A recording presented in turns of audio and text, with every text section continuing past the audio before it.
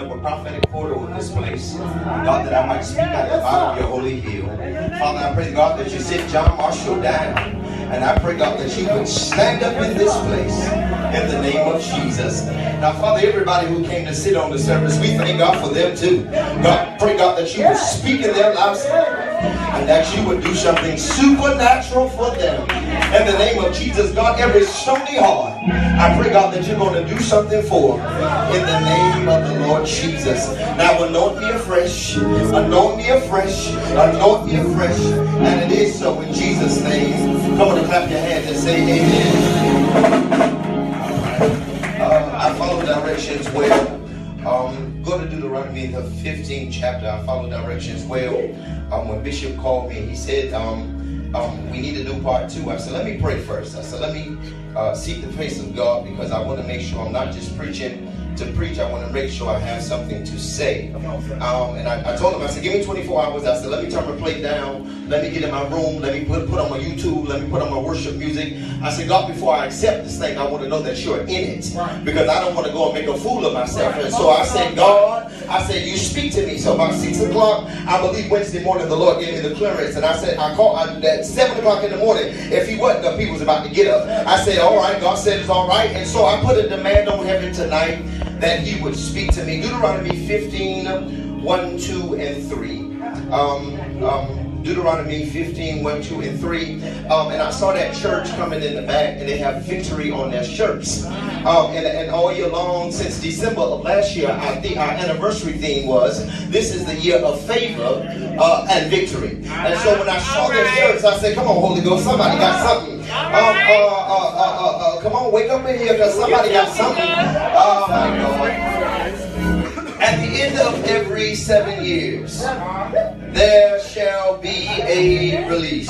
At the end of every seven years, there shall be a release. And this is the form of release. Every creditor who has lent anything to his neighbor uh-huh. shall release it. Yes. And he shall not require his neighbor or his brother to pay it back, and he shall call it the Lord's release.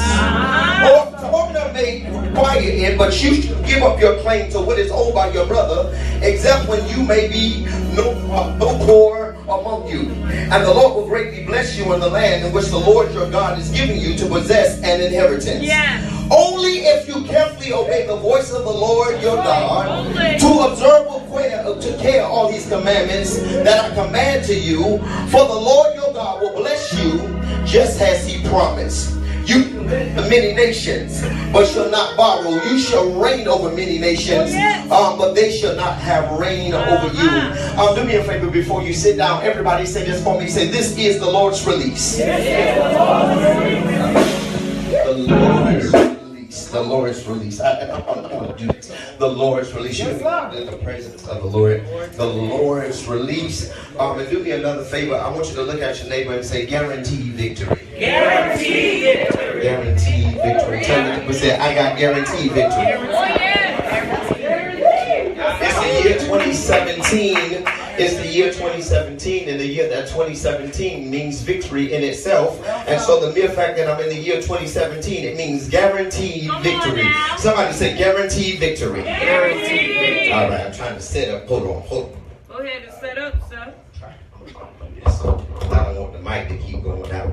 All right, um, um, Father, do this for me. Now, between Malachi and Matthew, um, there is a silence of more than 400 years. Now, historians um, argue um, whether this silence was 400 or 435 years, but we understand between Malachi and Matthew, heaven is silent. We we understand that heaven um, emphatically has nothing to say. The Bible says that um, because of the disobedience of man, the Bible says that God was quiet, and so um, between Malachi and Matthew before we get the word or before we get um in the beginning was the word or we get unto you uh, a son will be born and his name shall be Jesus. There is silence. Everybody say silence. Silence. Um, that heaven has nothing to say sledge. It, it is quiet. It, it, it, it has nothing to say. And so now man finds himself at a point where he has to hold on until the last word of God. There there's this point in their life where they have to hold on to what God said said last. Uh, a man has to hold on until the last prophetic word or the last prophet that spoke out of his mouth what God would do. Now, not only is the earth silent, but the Bible says that the heavens are shut up. There, there is no release. There is no dew. There is no mourning. There is no joy. There is no rejoicing because heaven uh, is, is shut up. So, believer, on this Friday night, you put on your nice clothes. I got a question for you. Huh? What do you do when you're trying to hold on to what God said last? Huh?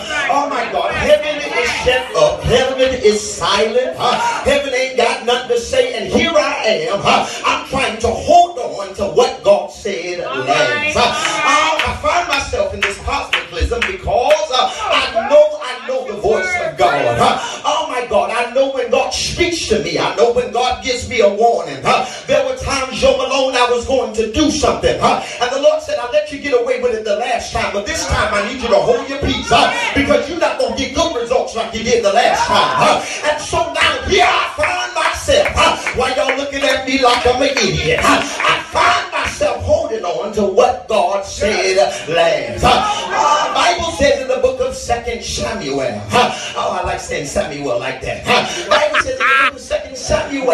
Huh? Um, there is a man by the name of Saul. Huh? Bible says now Saul is anointed to be king of Israel. Huh? Bible says says um, he is in a treaty with some other countries. Bible says that he has a word over his life. He says you have to uh, protect those Gibeonites. He says you cannot harm those people. Um, the Bible says the, the word of the Lord came to Saul. He says when you go down into that foreign land, he said I want you to kill everything. Oh my God. Bible said I want you to kill everything.